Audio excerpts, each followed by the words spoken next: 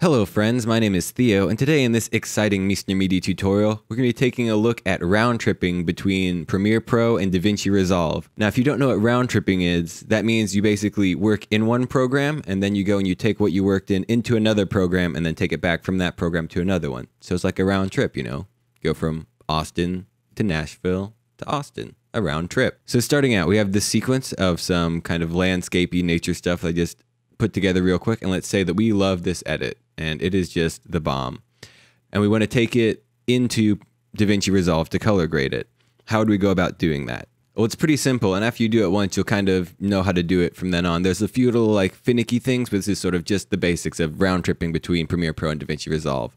So the first thing you do is you have your sequence, and let's name this something a little bit better. So I'll go over into list view, and we'll call this a sem symbol. Great.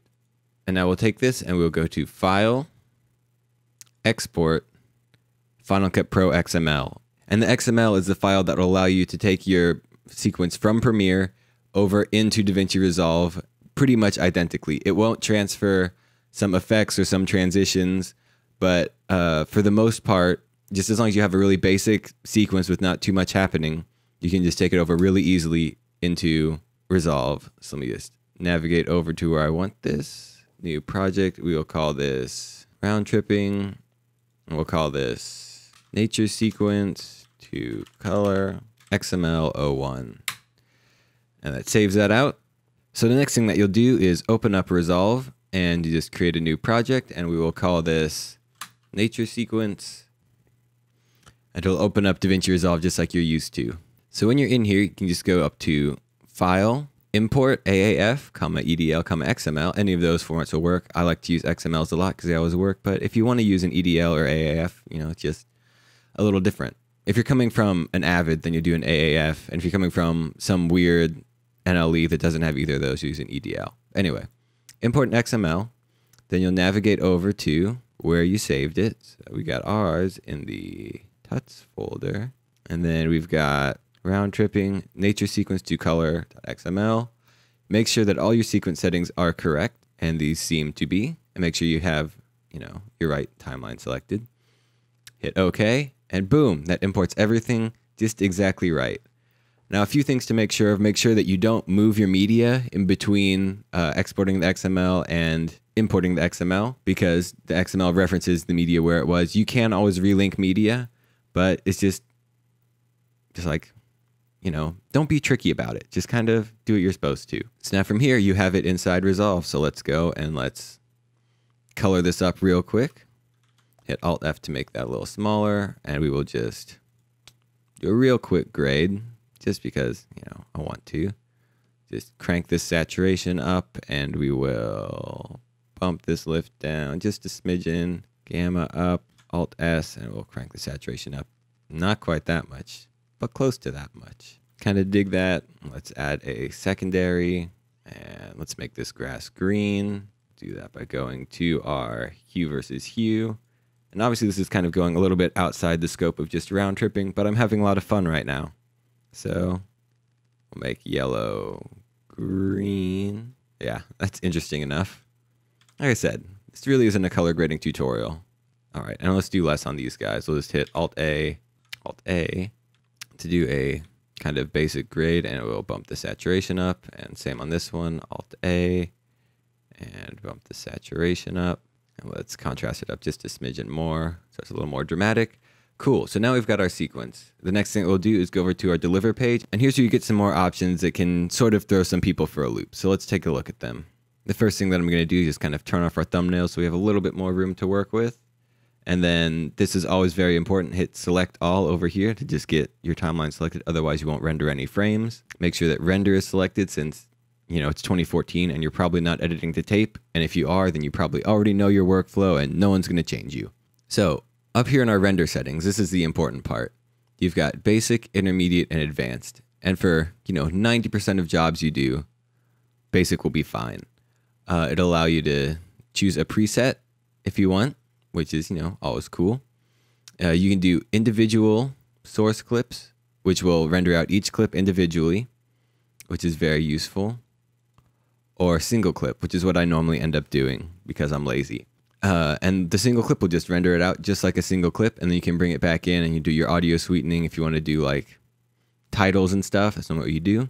Codec, Blackmagic Design says that they're better at these sort of compressed formats, but I still uh, Media Encoder and other renderers do a better job of compressing stuff. So I'd say go with a less compressed format. I normally go with DNX HD uh, 36 8 bit, which you know isn't huge, but you know it's good enough. I'm doing stuff for web. If you're doing broadcast stuff, then you know be higher.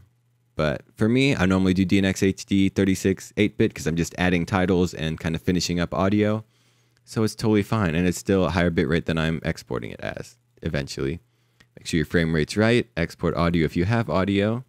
Use a custom file name. I'll do nature sequence, VO1R. And what my V and R little tag is, is version one, render one. And version is kind of client version, and render is sort of Theo's render. So, you know, you'll play something back, and then you'll be like, oh, you know, there's a, a frame of black in between those edits, and go you know, change that and then, you know, render 02 or, oh, you know, audio's out of sync there, you know, change it, render 03. Always watch back your renders because no matter how experienced you are, you're probably going to screw up sometimes. And it's really embarrassing when the client sees that before you do. Then you can click where you want to render to. Let's go normal place, active projects, tuts, and round tripping. Okie dokes. And then from there you can render. In the intermediate tab, you have a few more options, uh, especially down here. You can uh, enable a flat pass, which uh, basically means no color correction. I didn't know what that meant at first. The first time I did that, I was like, oh, that's weird. But you're probably not going to use this very often. And then you can also create additional outputs, which is super nice. Uh, if you're also doing more like broadcast stuff, then you can select whether you want video levels or data levels but that's kind of beyond the scope of this tutorial. I actually just read that part in the DaVinci Resolve manual, so I'm all fresh on that. But now in advanced, you get even more stuff, which we don't really need to talk about because I'm going to use it less often. Basic is pretty much good for, like I said, 90% of projects.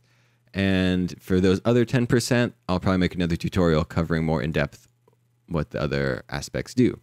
All right, so we've got our whole timeline selected. Now you just need to add this to the render queue.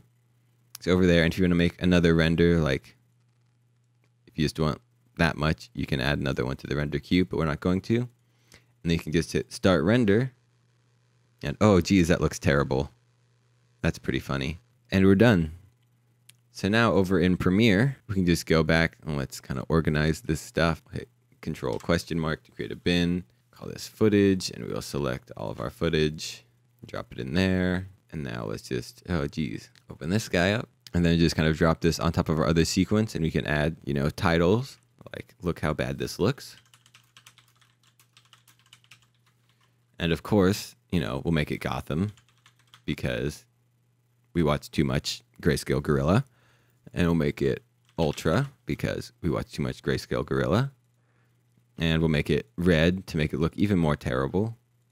Drop that on top and you can render it from there. Look at that. So I hope you've enjoyed this little tutorial. It's a super handy thing to know how to do and saying, you know, round tripping always sounds cool. If you liked the video, be sure to give it a like. If you didn't, be sure to give it a dislike. If your feelings are slightly more complicated than that, be sure to tell me something down in the comments because reading the comments is always a lot of fun. If you want to see more videos like this, be sure to subscribe to the Miesner Media YouTube channel. If you want even more engagement, then go to our social media stuff with Facebook and Twitter. Links are down in the description. Even more than that, you can go to the website at www.miesnermedia.com. Link also down in the description.